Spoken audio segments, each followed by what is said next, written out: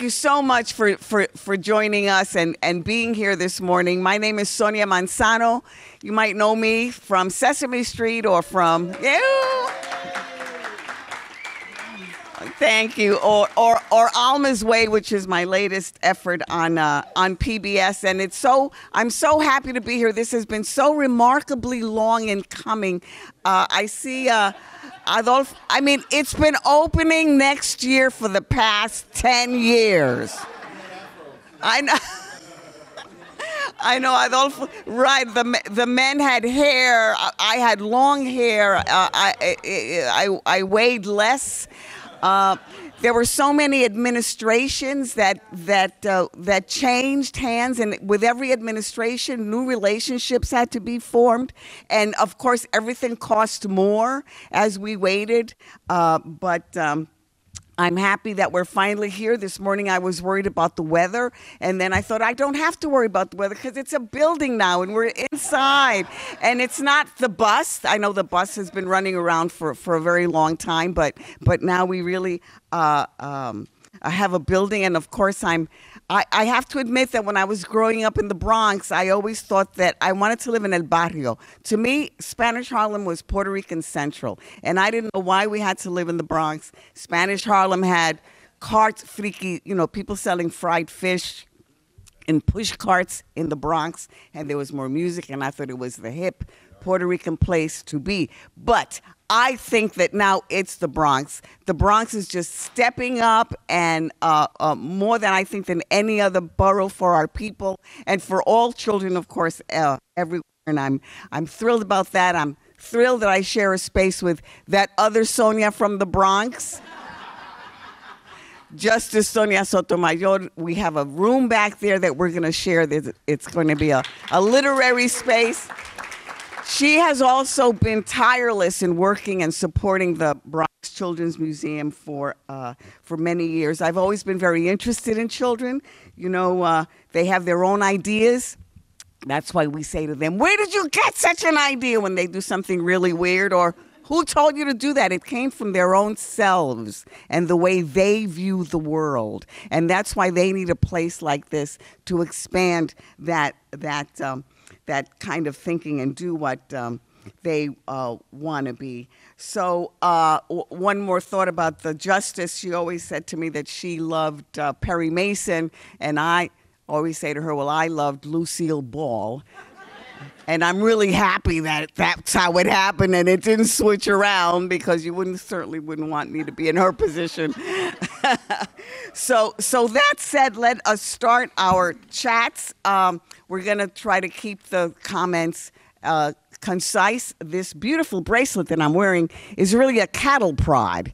So uh, if anybody goes over, eh, eh, you're you're you're gonna get it from me. And first, we'd like to uh, welcome, please, uh, Hope Harley, founding president, Bronx Children's Museum Board of Directors.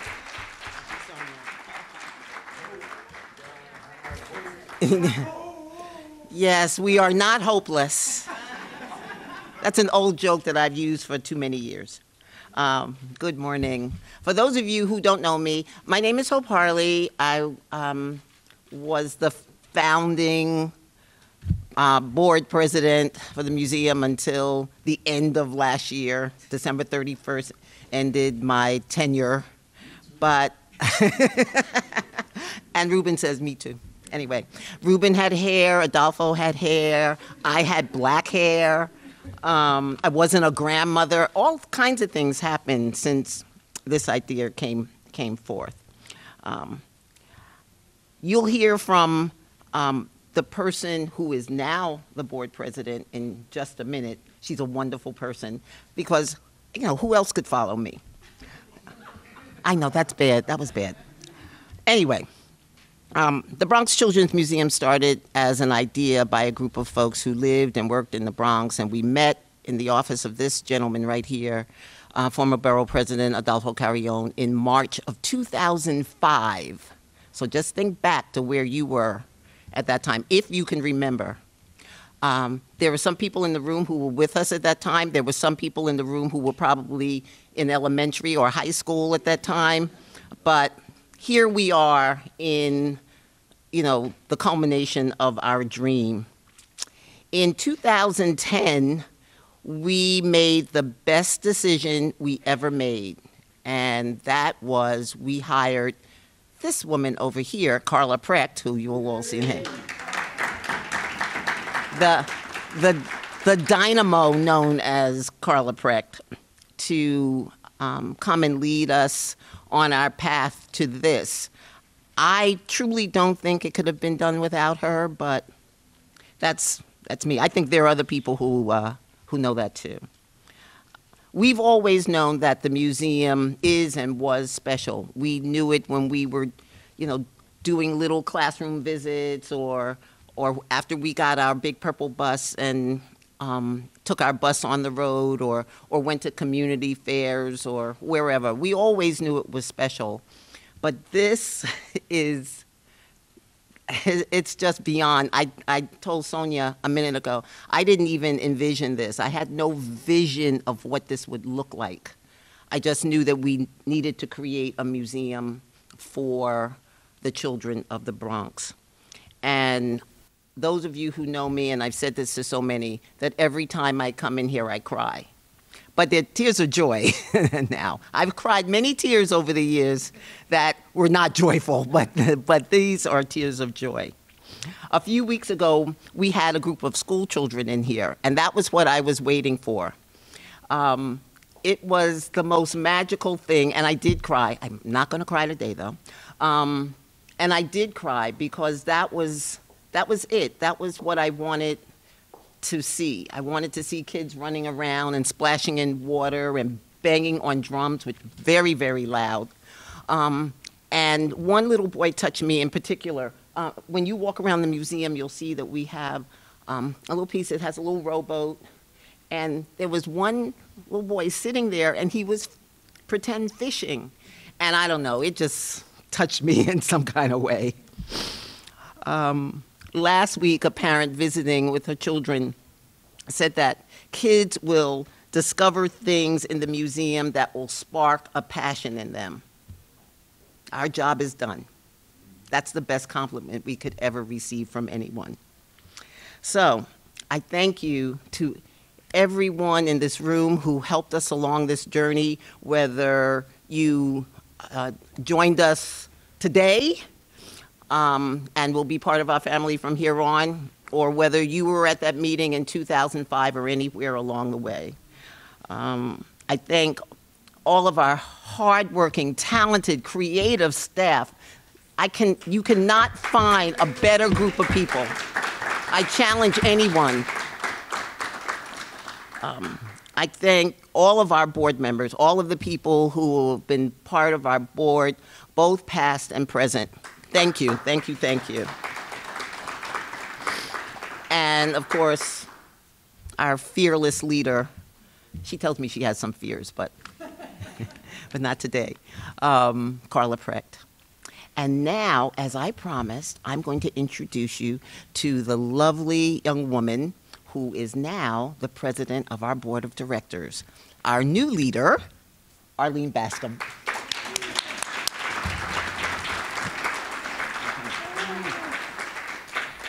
Thank you, Hope. I'm not that young, might be a little younger, but not that young. Good morning, everyone. Um, thank you. Um, I just want to start by saying, Carla, I always say, tenacity is that she is the definition of it because without her tenaciousness and her vivacity, everything, her passion for this, we wouldn't be standing here and seeing this um, today. And the children of the Bronx, and we all, everyone, I'm from the Bronx, so I know uh, you know, just really our heartfelt thank you, really. So as you heard, um, my name is Arlene Bascom. Um, I'm originally, I was born in Jamaica. My family and I, we immigrated here. So part of the whole, my, my life and story basically fits in with a lot of the life stories of um, many of you who are here and also the children who will be, um, you know, occupying the space. Um, so um, I know what it was to grow up in the Bronx and not to have a space like this and to have to go outside of the Bronx to a museum or to um, experience a lot of other cultural things. So um, I'm also marking my age, but I'll go on. so anyway, um, you know, we're so proud that this building is now open. And um, as you heard, it took, it took, a, it took a while. Um, I'm a newbie to the whole lifting process, so everything is really Hope, Sonia, Sonia, and um, and Carla, and um, her amazing team that's been working with her here. Um, so we all know that Saturday, December 3rd, the doors will officially be opening, and hey. And so, even though in our minds we've been a museum within and without walls, you know, for a while, we are now a museum within walls. Um, we will also still have our museum bus, which we're getting another one, you know, ready as well. But right now, let's focus on what we're going to do indoors with the children and in the space, which is safe, um, which is very, um, it allows children to be um, to be hands-on we're not going to be telling children no. We might tell them be careful with the running, but you know everything, and it's all about them seeing, touching, experiencing, and really, um, you know, exploring, right? And um, you know, there are other places that they're all about, you know, just maybe the kids coming in, it's a place to drop them off. Children are going to interact with the exhibitions here because they're STEAM oriented. Everything here is science, technology, um, engineering, um, arts, and math. And you can see that already from the space and all the lovely art, all the lovely exhibits, which you'll all get a chance to see. Um, and for a limited time, admission will be free for all visitors. We're still working out some dynamics and things, but from now until when we make that announcement or other things happen, we'll, admission will be free.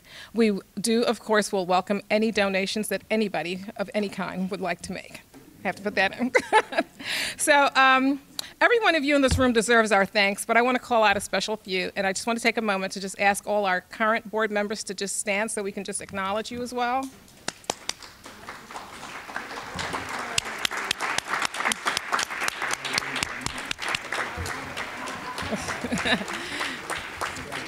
Thank you all. Thank you. There's so, there are many more, but there's um, you know there's something called work schedules. Um, but at any rate, we thank everyone who's here and even those who are in absentia. Um, at this time, I wanted, you know, I, we would be remiss if we did not thank every and all of the, well, not all of them, but because the elected and city officials. that could take all day. um, but the uh, elected and city officials, um, some of who are also here with us, so um, bear with me. Um, our current borough president, Ms. Vanessa Gibson. Yes, thank you. She was a believer in us before she stepped into the political arena and continued to be a partner with us, so thank you. Um, her brother from another mother, former Bronx Borough President Ruben Diaz Jr., as well as another former brother, for, uh, former Bronx Borough President um, Adolfo Carrion Jr., who was also was actually part of the genesis team for this, and then, of course, his successors, um, predecessors after that, you know, uh, successors um, took over. So thank you, thank you, thank you. Um, we also have with us New York State Assembly member Latoya Joyner, who has been instrumental in securing $4 million in state funding, signage, and brick and mortar. Did she stand up? Oh, okay. There's, her representative is here. Okay. Um, New York State Senator Jose M. Serrano. I saw him earlier. Okay. A longtime supporter and leader in the arts and cultural institutions in the Bronx. And um, New York City Council Deputy Speaker Diana Ayala, who I think she's got her representative here. She is a former city council speaker. Um, she was um, former city council speaker Melissa Mark Viverito and Vanessa Gibson were pivotal funders and supporters of the museum and its new electric bus to be procured in 2024. That's what I was talking about. That it's, going to continue to be our uh, uh, um, museum outside of the walls and that takes the programming to um, schools and shelters and parks and special event and special community events. Continuing on, New York City Parks Commissioner Sue Donahue. Um, I don't think she's here. Oh, I'm looking too far afield. Missed you the other night. Lisa Sorin is not here, so you have to say her name. Okay, thank you. um, yeah, Art Students League, congratulations on your honor. and um, so Sue Donahue is here with us, who's with the New York City Parks Department, and has given us the space to transform, into, which we have transformed into what you see today, and now to operate Gorgeous Children's Museum. Uh, uh, she's probably stuck in traffic, but she's got her. No, no, I'm. Our next. Gracias, hermano. we do this all the time with each other. Gracias, hermano. so um, she's not here yet. She's probably stuck in traffic. Oh, here she is now. Oh, yes. Commissioner Cumbo. Yay! The lady in pink. I see you got the, you got the. Yes, we all, always. So thank you. Um, you know, um, Laurie Cumbo, who with the mayor's office has stood by the need for the Children's Museum in the Bronx.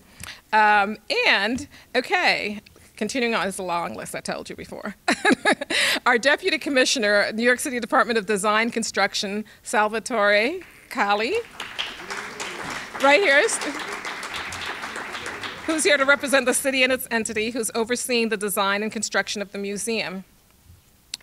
Uh, assembly members um, whom we'd like to acknowledge, and if they're here, uh, Assembly Member Chantel Jackson, uh, Karine Reyes, Amanda Septimo, Yudelka Tapia, okay, Romania Inia from U.S. Congress Torres Office, no, uh, Fidel Malena from U.S. I'm sorry, New York State Governor's, Governor Hochul's office. Yay, Governor Hochul. um, Paula. Okay, and forgive me, blame it on the head, not the heart. Kaikas and Alina Dowell, um, and from and Valerie Vasquez from the mayor's office. Okay, Jacina Aponte, Bronx Commission Commissioner of New York City Parks, and I can't read that one. And Danielle Saldana, Executive Director of the Bronx Chamber of Commerce and former Bronx Children's Museum board member. Also, I'd like to um, add Isabel Marrero from U.S. Congressman Espaillat's office and Dr. Armina Vega Ferrer from the New York State Education Department of Regents.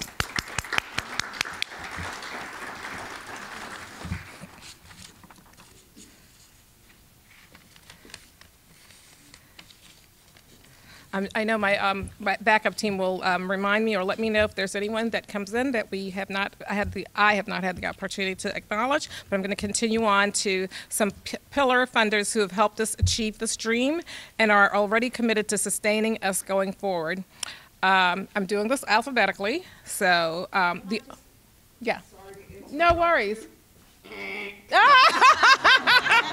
But Adolfo Carrion has to leave in 10 minutes, and as he was the, one of the first administrator, maybe give him a moment and then come back to your uh, Hey, remarks. this is a Would good. that be That's a good. That's a good place up. We can have him speak, and then I'll I'll acknowledge the other folks, who Okay, are the corporate thank you. folks. Thank you, Adolfo. Carry on.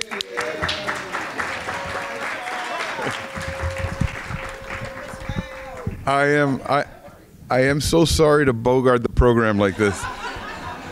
But but um I'm going to give you a little uh, heads up about an hour in advance of the announcement that's about to happen today at 11:30 at the Queens Museum.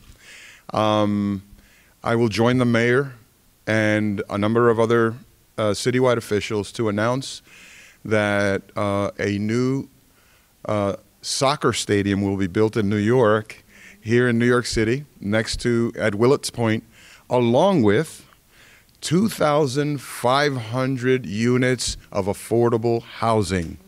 So, as the as the I think Sue Donahue identifies very closely with this as commissioner. As the commissioner of housing, I cannot miss this or be late.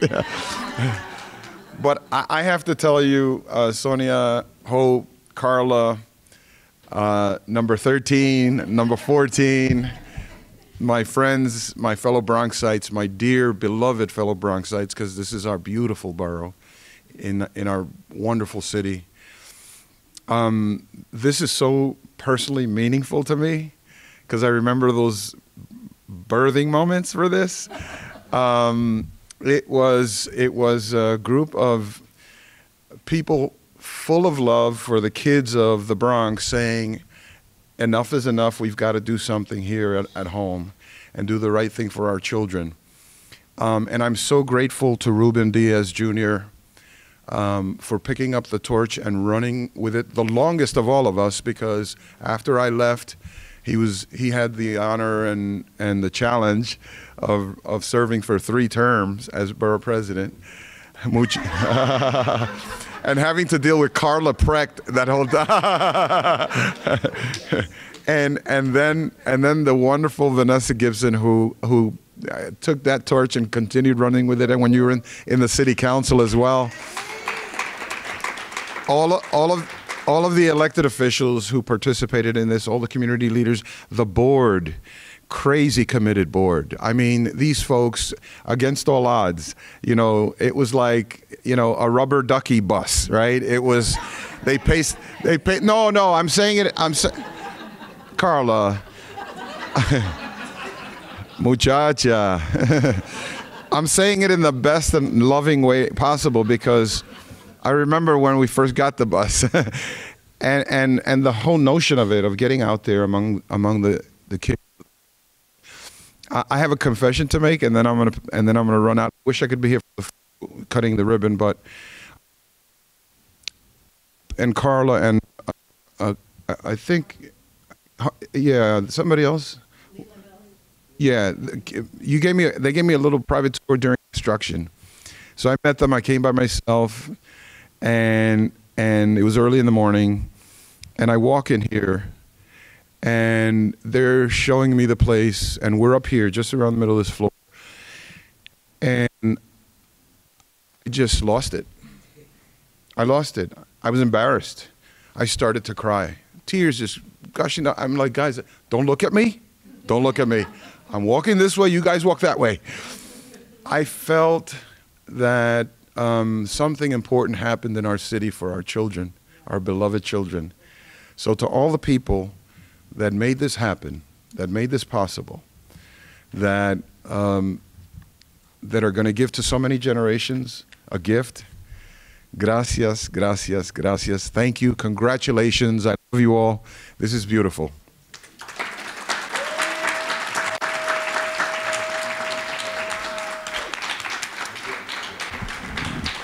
Muchas gracias a usted también. so, Thank you. So we'll continue. We'd like to acknowledge our, as I was saying before, we'd like to acknowledge some of our pillar funders. Um, the Altman Foundation, our first funder and one who has never left our side. Just Amazon, which will be sponsoring free afternoons once a week and extended hours once a month starting in spring 2023. Our representative from Amazon.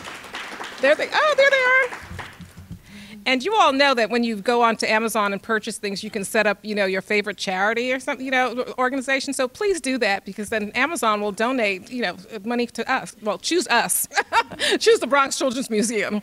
I thought I'd just put that in there as my PA, PSA.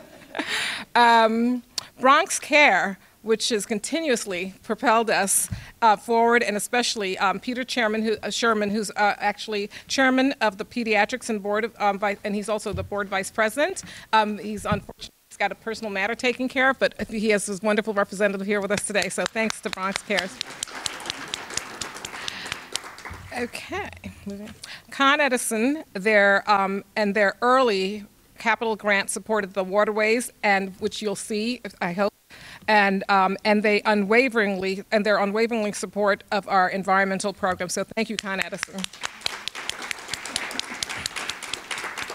Montefiore Einstein, which just committed to a multi-year grant, and we who we turn to, yes.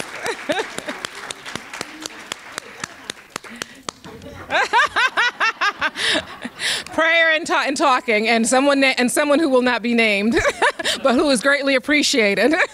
Gracias, hermano. Igualmente usted. and um, our incredible, tireless board of, I mentioned before, but I, you know, had to bring them up again. And um, the incomparable, incomparable Sonia Manzano. She has inspired us all as well as a generation of children, of, of other children. And you'll see that we have dedicated a quiet space, as I mentioned earlier, called Sonia's Corner. It's um, to honor um, her and um, un otra Sonia. uh, her and Justice um, Sonia Sotomayor, both of the, both of whom have just been um, really tireless in their support um, for the organization. Um, now, please, a giant round of applause for our organization. I welcome Paula. Right? You're coming. Who's coming up? Who's next? The Honorable Vanessa Gibson. Woohoo!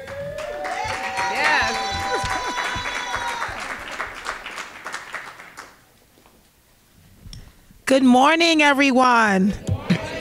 What a beautiful day that we have truly been blessed with. With an honor to be here with all of you for this milestone and historic celebration as we officially cut the ribbon finally on the first ever Bronx Children's Museum. I want to also begin by acknowledging all of our incredible partners and certainly to Sonia Manzano, to Hope Harley, to Carla Precht, to uh, as well as Arlene Bascom, to the board members, to my colleagues in government, my predecessors, our former borough presidents, Deputy Speaker Diana Ayala, also State Senator Jose Serrano. Also want to acknowledge Assembly Member Latoya Joyner and Assembly Speaker Carl. Uh, uh, my colleague, Commissioner Laurie Cumbo.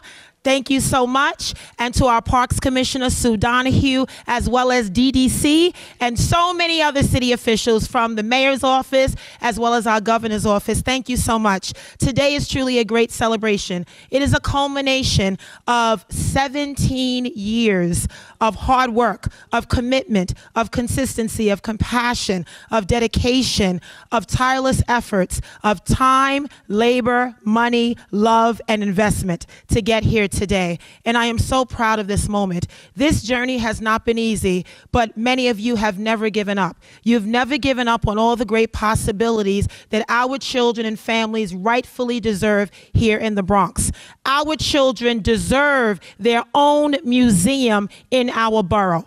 And from the start, from 2005, when a group of dedicated individuals came together and had a vision, had an idea, had a dream, it was because of the fundamental principle that our children deserve access and opportunity. The Bronx Children's Museum will truly serve as a beacon of hope and opportunity, a space of artistic expression, of culture, of education, all coming together.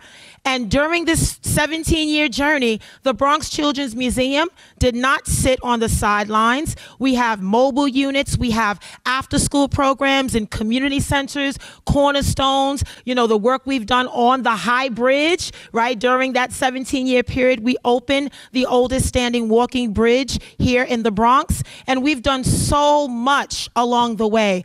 I am so proud that this day is finally here because of all the work. And I said to my predecessors, there's something about the number three that's very significant and meaningful. This project took three mayors, three mayoral administrations, three city council speakers, three Bronx borough presidents to get here today.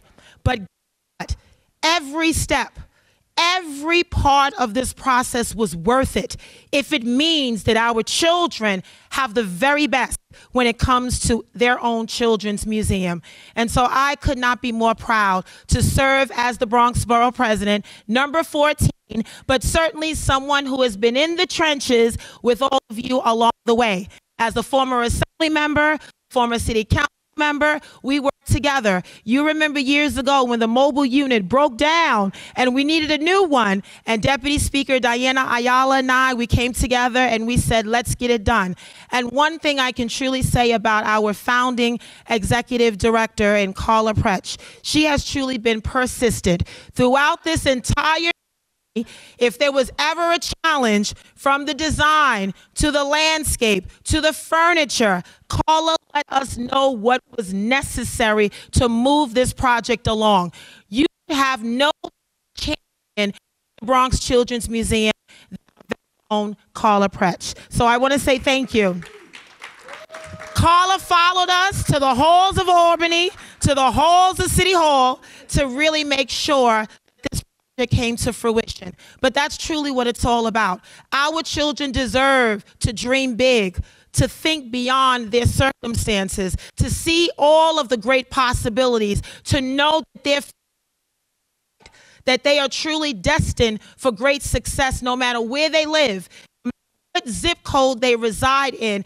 Every child in this borough is gifted and talented and full of promise and potential. And this children's museum will give them all of those great opportunities.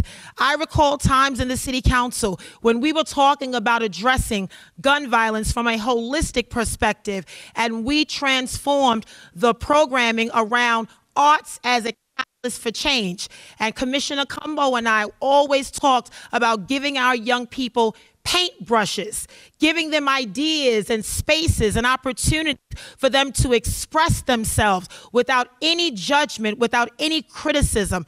That's what this space is going to be a safe haven, an opportunity for children and families in our borough to enjoy the beauty of art and culture and education. This site will serve as a global destination, not just for the Bronx, but for the entire city of New York. And think about all of our neighbors.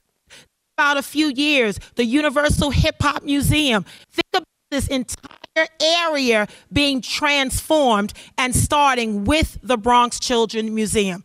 So, my gratitude, my appreciation to all of you, to the board members, to our executive director, our board chair, to each and every one of you, all the elected officials, for your time, your labor, your investment, and most importantly, never giving up on our great Bronx. The Bronx Museum is going to be a site for incredible opportunities for generations to come, and I'm so grateful to be here.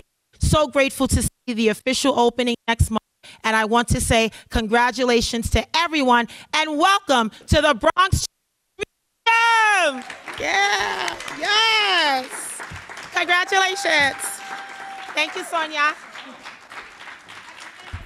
I know. Thank you so much.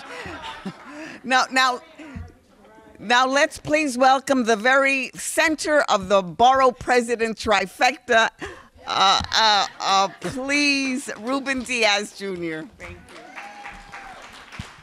Good morning. Good morning. Uh, I'm glad that it's been acknowledged that I, of the three of us, have received the brunt of Carla and Hope. 13 years. Uh, I'm going to observe all protocols, and obviously, we want to thank everyone who has been involved in this, all of the city, state agencies, all of the elected officials. Uh, why, why are we here, ladies and gentlemen? Why are we really here? Why was this so important? Do you remember abuelitas cooking, the smell of it? Do you remember the songs that mommy used to play when she cleaned the house on a Saturday? Even though you hated cleaning the house as well. Do you remember your favorite teacher? Do you remember when you were younger who your best friend was in whatever PS public school or whatever school you went to? Do you remember your first dog? Do you remember your favorite park or playground? Do you remember your favorite your first crush? Think about that for a minute. Your first kiss. Do you remember believing in Santa Claus and the tooth fairy? I, I, I ask these questions because here we are, we're celebrating brick and mortar, and we deserve this. But what we're truly celebrating is something that you can't see or touch. It is the innocence of childhood. It is the only thing that we truly have in common with our children and our grandchildren because we used to be children. They, have, they are not adults yet. And in that innocence, no matter if you were raised in a very poor household, how many of, how many of you here were raised in a poor household? Raise your hand. How many of you experienced hard times when you were little and your family? Raise your hand. But it's still the times that you remember being the best times of your life. It's this thing called being a child, being a, it's like for me, aside from, or in addition to a good hip hop song, the, the, my favorite thing to hear is whenever I, when the weather gets warm and you're driving down the Bronx and there's a playground or a schoolyard and the kids are playing, and you know that they're different children in different areas, but the sound is always the same children playing together. And so, what we want is to celebrate and make sure that here families can come and, and, and build memories and, and solidify and fortify that innocent childhood spirit that unfortunately continues to deteriorate in this day and age. That spirit of imagination, that spirit of, of playing make believe, that spirit when your child says, Mommy, Mommy, look, or Daddy, Daddy, look, look what I can do. And, and it's really not, let's be honest, maybe not that spectacular, but it means the world to them when you take that moment to see how they did a flip, or how they jumped into the swimming pool, or how they shot a basketball.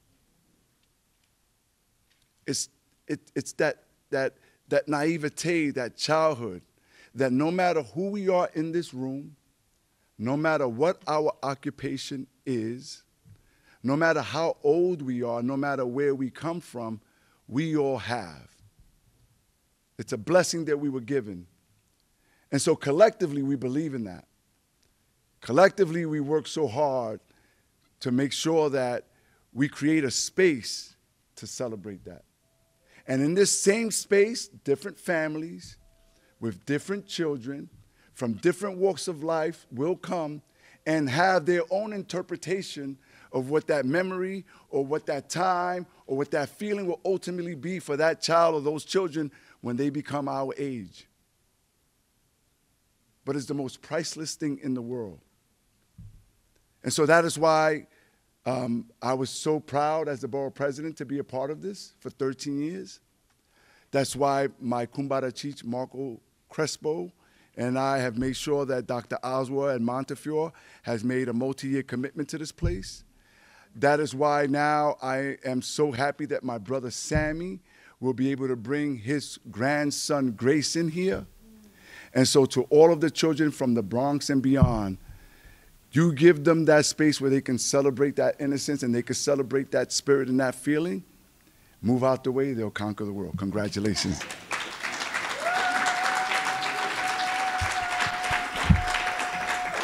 Okay, thank you, Ruben.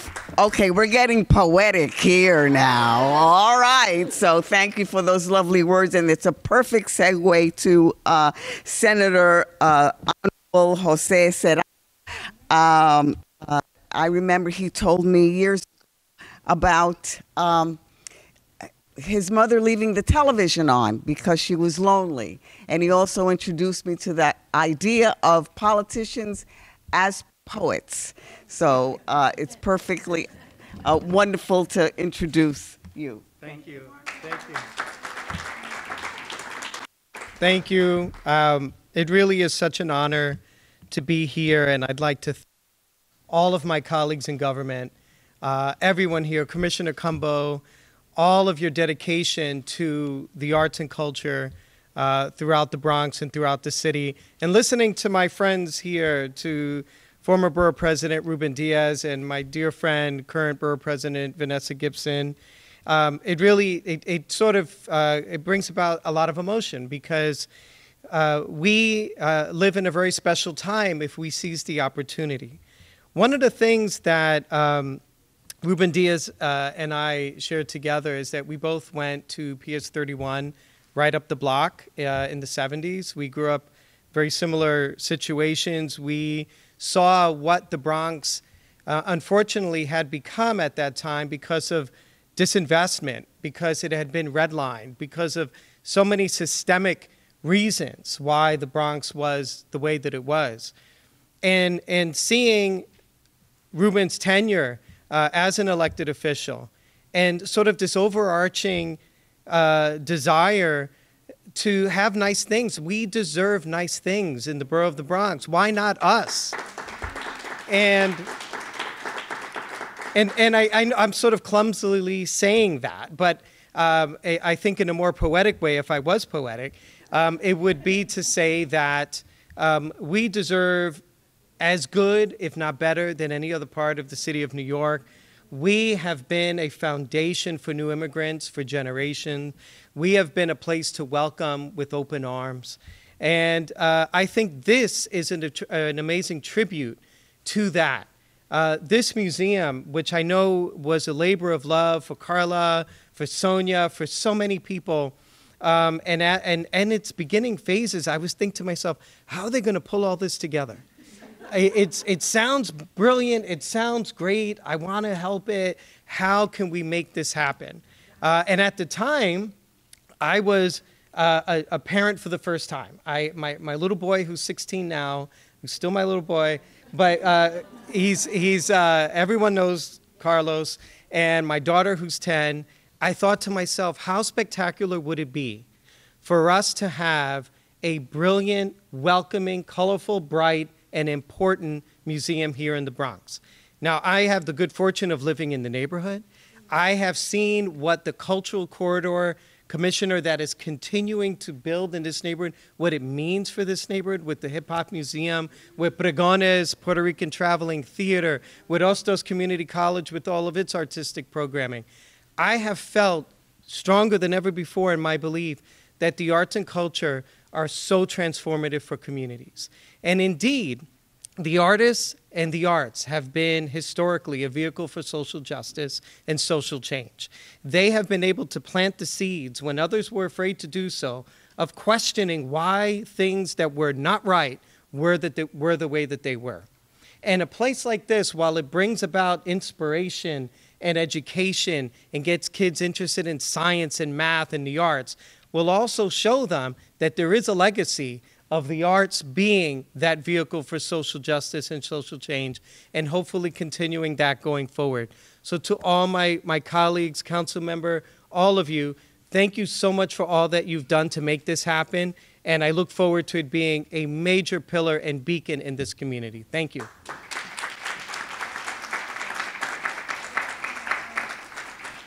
Thank you so much. Art for social justice. That's a great phrase, and I hope that we all remember it. And that said, we'd like to welcome the Honorable Diana Ayala.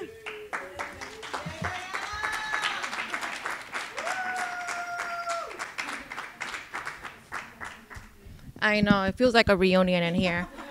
Hi, everybody. I mean, we have been married to this project for many years. So I was a staffer when we started, and I feel like we have to send Annabel Palma a picture because we spent a lot of time talking about this at Bronx Delegation. Um, oh my God! But I feel so nostalgic. This is a this is really personal, um, and it's very bittersweet because.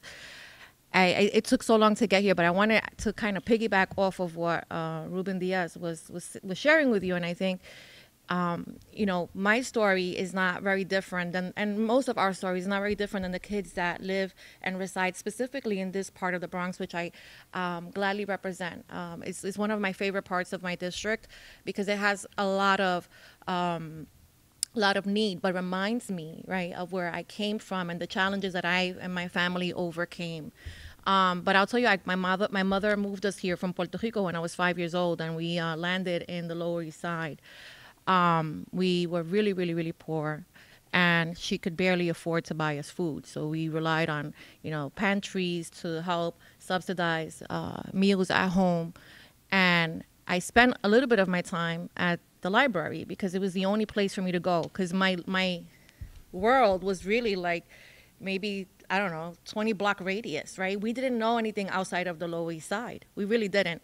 To the point that, funny story, not so funny, when I was a teenager, my friends convinced me to go camping at Woodlawn. And I had no idea what Woodlawn was. So I went. And it was it was dark and I didn't know where we were, but we were in the woods somewhere, and we camped the whole weekend, and we did that twice. And then as an adult, I lived at Kingsbridge, West Kingsbridge, and I was taking the four train, my first time taking the four train to Kingsbridge, and I realized the last stop was Woodlawn, and I was like, we were camping behind the cemetery the whole time. Probably, I'm sure, illegally. Um, but that that is really reminiscent of right how sheltered we are and how um, inexperienced we are with the world around us. I mean, just a few blocks make a huge difference. So for me, this museum is is um, is really something that I'm proud of.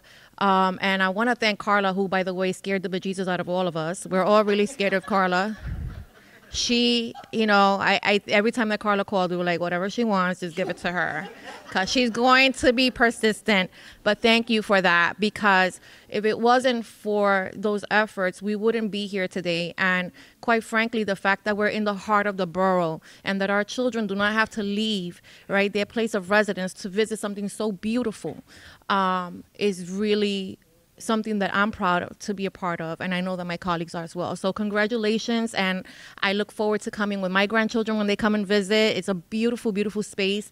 Um, but thank you because I know that it wasn't an easy road. Um, muchísimas gracias and enjoy. Thank you.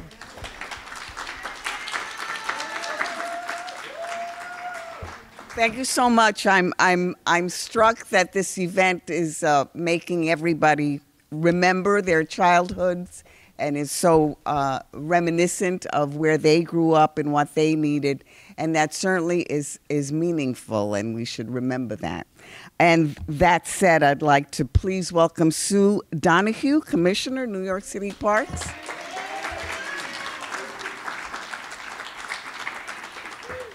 Thank you so much. And I am so thrilled to be here. I am New York City Parks Commissioner Sue Donahue. And interestingly enough, I was at the Parks Department years ago in the Bloomberg administration. And I remember walking this building and saying, How are we going to make this happen? And here it has happened. And how amazing is that? We are just so thrilled at the Parks Department because this museum is a partner of ours, both literally and in spirit. Housed on New York City Parks property, in a former powerhouse. The Bronx Children's Museum is, in fact, a powerhouse. It provides children with interactive places to learn and play, having operated with and now without and now with walls. And as we heard, these interactive spaces are so important for all of us, for all of our kids, all across the city. Like parks, this new museum space will advance equity, education, and partnership and give kids in the Bronx the museum space they deserve. And we couldn't be more excited to celebrate this accomplishment and this partnership today. For years, the museum has met kids where they are, visiting schools and the community, using a big purple bus as a mobile learning environment. And at parks, we know how important recreational spaces are for children, giving them places to grow and play safely, teaching them new skills and stimulating their minds. This milestone ribbon cutting is the culmination of years of hard work. And I'd like to thank all of the partners for delivering on this brand new museum. I'd like to give a big shout out, as has already been said, but to all of the folks from the Bronx Museum Hope Harley, Carla Precht, Arlene Bascom, and all of the wonderful staff whose perseverance really made this happen. I'd also like to recognize our very own first deputy commissioner at the Parks Department, Iris Rodriguez Rosa. Um, uh, she she unfortunately couldn't be here today. She is on a very well-deserved vacation, but I know that she is here in spirit and this museum means so much to her personally. So I'm here to represent her and to send her regards cuz she is so excited about this happening. And I'd like to recognize and thank the support of so many elected officials and departments including the New York City Department of Design and Construction, the New York City Department of Cultural Affairs and their great commissioner, Laurie Cumbo, my partner in the city. Former Borough President Ruben Diaz Jr., who spoke so beautifully about the importance of parks. Our great Bronx Borough President Vanessa Gibson, who's been such a supporter of all things parks and open spaces. Our council member Diana Ayala, thank you so much and Assembly Member Latoya Joyner, um, who is also, I know, very closely involved in this project, and really everyone here today who believed in this project and who helped to make it a reality. Thank you all once again, and it is truly my pleasure to welcome the Bronx Children's Museum into their new home. I know that this Bronx Children's Museum has many great exhibits in store, and I urge everyone from every corner of the city to come out and enjoy this new place for learning on December 3rd when it officially opens to the public. Thank you all so much, and congratulations. Thank you so much. You know, we're living in such a harsh society that art and culture aren't words that are on the table often. The last president who cared about art was President Kennedy, and that was in the 60s. So, so the fact that we are bringing art and culture to the forefront is very important, and that gives me great pleasure to introduce Laurie Cumbo, who is Commissioner, New York of Cultural Affairs.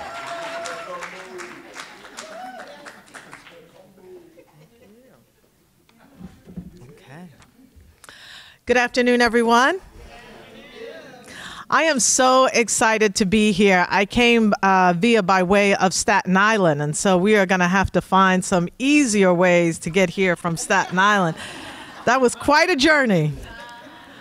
But I am so happy to be here. I had an opportunity to go on a tour with my son maybe about three months ago where I met Carla and I got a taste of the Carla energy, and I thought it was a personal thing, but it seems everyone has experienced it.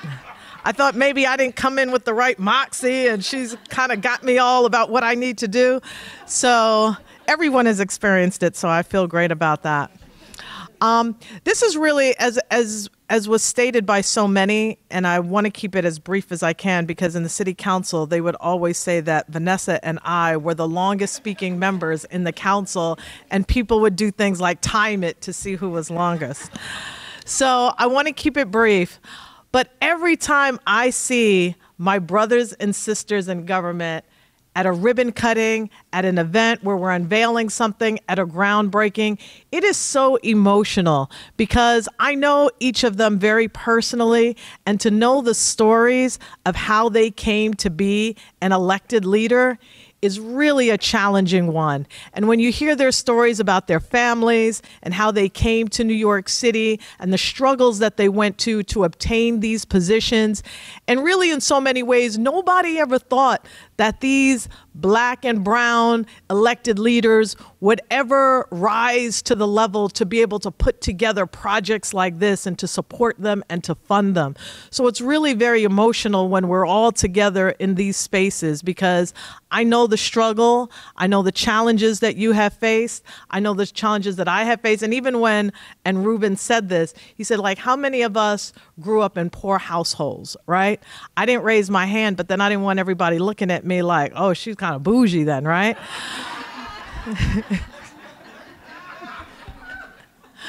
but I go by what Bob Marley said, right?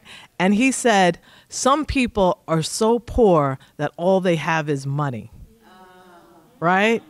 And what you described, Ruben, with your mom and your dad and the cleaning of the house and the rituals and the playgrounds and all of that, that is such a great wealth. You're healthy, we're here, we're striving, we're doing our thing. So yes, I did come from the same households, but I but I but I see I see the love in my household as something that's so valuable.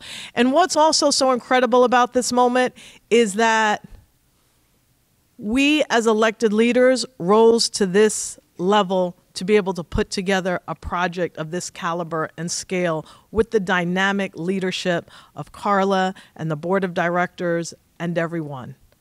But imagine what our children will ascend to when they have institutions like this that we didn't grow up with. The things that we are putting in place are institutions and opportunities that were never even possible or fathomable when we were younger. We are really recreating the realities for our young people in terms of what's possible and what's achievable. And that's why this institution is so important and perfect at this moment. The Bronx needs investment like never before. And I'm so pleased that I'm exercising this muscle to support the Bronx because I had been exercising it for Brooklyn for so long that it's so incredible to see this citywide approach and to have our mayor, Eric Adams, to recognize that we, elected leaders, are putting 40 $1.3 million into this museum, that we have the power and the capability of making those types of decisions with our tax-paying dollars.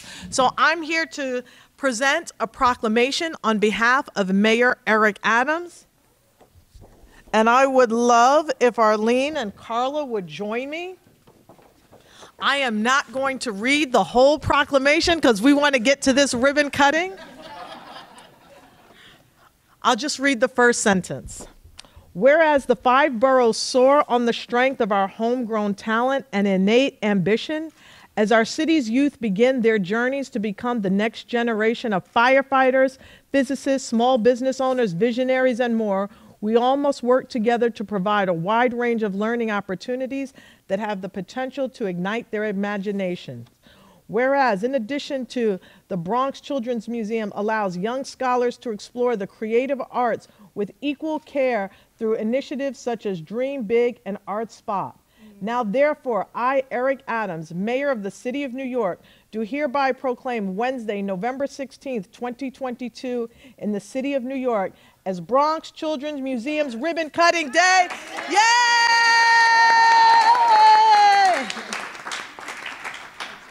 take a photo?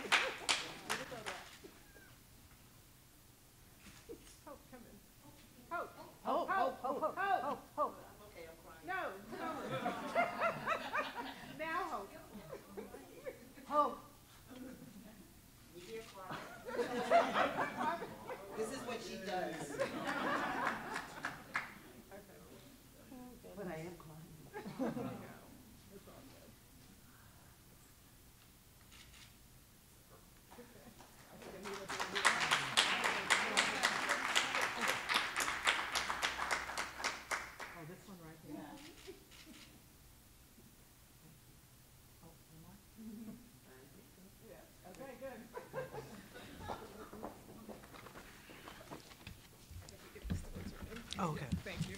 Thank you. Thank you, ladies. That's terrific. So hang in there. We're in the home stretch. This is this is it. Stick around so you can take a walk through the museum when we're done. And we're going to hear from Salvatore Cali Jr. Welcome. Thank you so much. Thank you, Sonia. Uh, good morning, everyone. Uh, it's a pleasure to, to be here to celebrate the new permanent location of the Bronx Children's Museum. Um, DDC, together with DCLA and NYC uh, Parks, uh, manage this construction. And it's going to provide uh, educational experiences for many, for the community of the uh, Bronx for many years to come. Uh, inspired by um, Jean Piaget's book, Child Conception of Space, the museum, the museum remains open and accessible throughout and connects children to the experience of natural landscape and the Harlem River waterfront. Uh, the design creates a balance between open spaces and prioritizing uh, visitor security. For the many parents and guardians that visit every day, uh, low petitions maximizes visibility and makes it easier for caregivers to keep an eye on the children. Uh, to promote physical activity, The museum was designed according to the New York City Active Design Guidelines and has built in benches to provide rest areas along the way. Work also included the installation of new mechanical, electrical, and plumbing systems. With the fantastic work done by the architects O'Neill McVoy and the contractor A-Quest Corporation. Great job on them. Uh, the project is slated to achieve LEED Silver certification. Um, I want to thank our Commissioner, Thomas Foley. He's unable to be here today, but we have our first Deputy Commissioner, Eric Macfarlane, here in the House. Would also like to acknowledge uh, the many dedicated DDC team that worked on this. Um, our boots on the ground, our project manager, Rudley Tolger, led by our Assistant Commissioner, Michael Nastasi, our um, Program Director, Irene Alpert, the Deputy Director, Devang Kapanya, um, our ADA Compliance Director, Jason Wood, and have folks from uh, our finance and procurement that help with the contracts and payments and making sure the contractors get paid. And that includes uh, Stella Sinartini, um, Sundari Chakalingam, and Guadalupe Lopez. Thank you all.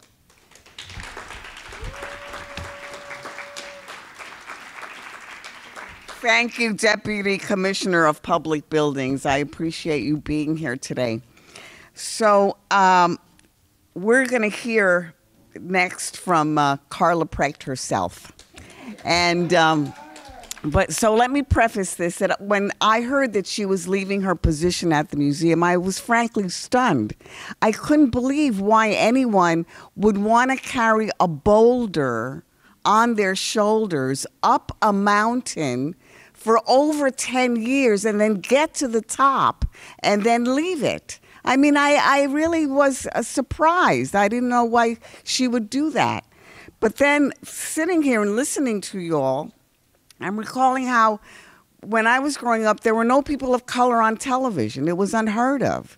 Uh, and, uh, and then I became one of the early people of color on television in, in, in 69. And now I'm passing that forward to other people of, of color on television. So I'm, I'm, I'm still a little stunned, but I guess that now I understand it better that you take this boulder up there or you are the first and then you get it done and then the thing to do is to pass it on to other people so that they could carry on as we all will or you all will the younger people in this audience and the younger people who must get involved with what's going on it has to be the younger people and uh, so that said I'm sorry I won't have Carla to hound me anymore.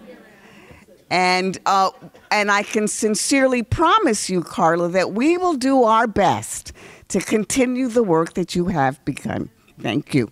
Please take the stage.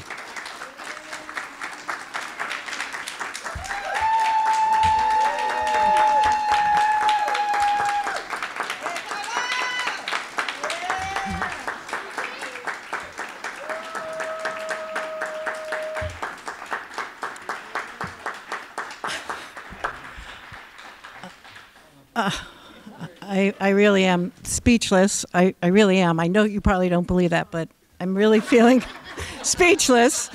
And uh, it has been a beautiful journey. And, uh, you know, all the thanks that everybody else has already expressed can't really do it. Um, you know, this is your museum. You know, this is your museum. You should thank yourself as well. And for that, I would like you to put your hands up. Okay, put your, Carla says, put your hands up. Now put your hands around you. Give yourself a big hug from yourself and from us at the Bronx Children's Museum. And I didn't really know I had such a reputation, by the way. I, I mean, Ruben, Ruben has said it over the years, but I, I mean, today it was sort of like, okay, okay, okay. Um, but you know there there are a number of things that still have to get done, um, and and we're hoping we're hoping in the next month um, that we are going to make some real headway with our CIG request, our request for um, cultural institution group funding.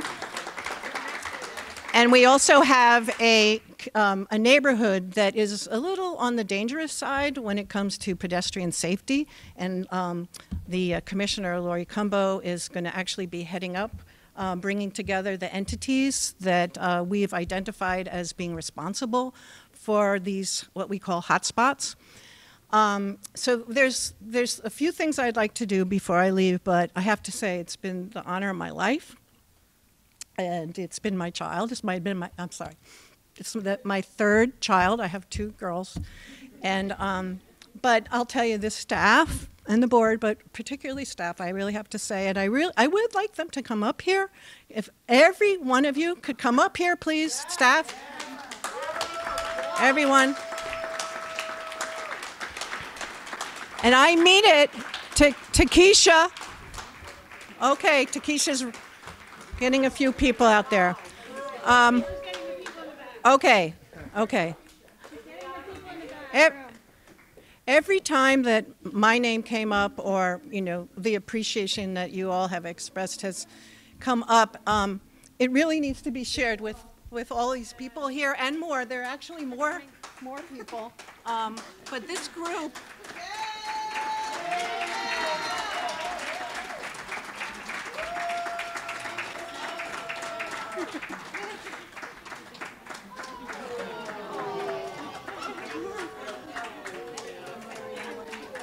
Um, did I see Jamal? Okay. Um, this group is my family, and I don't want to leave my family. I'm shaking a little bit right now, but they're holding me up. Um, and I just want to thank everybody here and this amazing staff for your leadership, your commitment. You know, it's it is it's never been difficult in my mind to sort of answer that question. Well, why do we do this? Well, we do this. It's simple. It's because we love the children and we love the Bronx.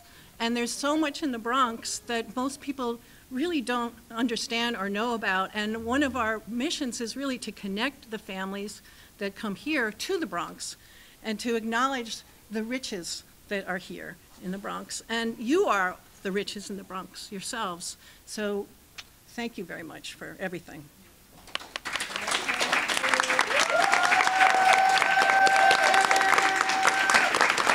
Wait, stay. we, we definitely need a picture, but I also think that John Boudreau, who's our Director of Marketing and Communications, after we leave, um, we have to, if, if it's okay with you, we'd like to take some important pictures. Uh, we want to be able to take the um, photo, the ceremonial photo of the cutting of the ribbon with, I think, three groups. And then, then please, please, please, we want you to experience the museum. Now, you won't be able to experience it in the way that it ought to be experienced with a child, except maybe one child that I see here. Oh, there are a few children in the back too. Okay. Um, but please come back if you don't have your children today, and, and or, or bring your niece, or you know, you're, you're welcome here always. Uh, and um, but we will have this period of time right after the photos where you can wander around. So please do. Staff photo afterwards at 12:15. Yeah. Okay. Yep.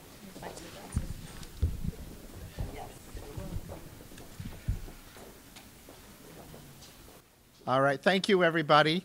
Again, I'm John Boudreau. I'm the Director of Marketing and Communications for the museum. And I just need to say this is an awesomely proud moment for all of us today. And thank you so much for being here and helping us realize the dream that we have been going after for so long. So thank you very much. So this is a great opportunity. Everybody wants to get their shots, and I want to make sure everybody gets the shots they want. So uh, we're going to do this in two sessions, and uh, definitely want all the audience members to get their shots, but we definitely want the press to get their shots because we love the publicity. Uh, so in order to make this work for everybody, um, we're going to have the first shot. We're going to move the podium to the side. I'd like all the speakers to come up behind the ribbon itself, uh, including Sonia Manzano, please, and Arlene and Hope, please come up. Uh, and we'll take that first shot and do a press shot, and then I'll invite any audience members that want to come up to the front to get that same shot, and we'll do kind of a faux ribbon cutting because everybody wants that shot. And then the second shot we'll do with board members coming up and anybody else that um, is part of the organizations and the agencies that would like to be uh, a part of the picture. And that will include the architects and Beth and Chris from O'Neill McVoy to come up. Carly had. Sure. So, representing press today, we have Norwood News. We have ABC7 that is here today. We have New York One that is with us today. We have News 12 Bronx. We have BronxNet that is here today. And who am I not recognizing? Riverdale Press. Yes, Riverdale Press came in uh, in the middle of our ceremony, so we're very happy to have them here too. So uh, I will start by having the podium moved over to the side, and if the speakers can make their way up front and get behind the ribbon. Behind the ribbon itself. Not where the podium, but behind the ribbon. Excuse me. I will get to that. Five, four, three, two, one. Yay!